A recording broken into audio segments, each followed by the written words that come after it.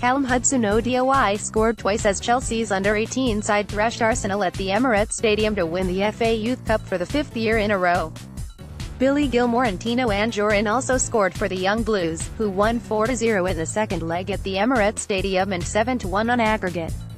Leading 3-1 after the first leg, Chelsea took a huge step towards retaining the trophy when Gilmour fired into the bottom corner after Arsenal were unable to fully clear Juan Castillo's 11th-minute cross.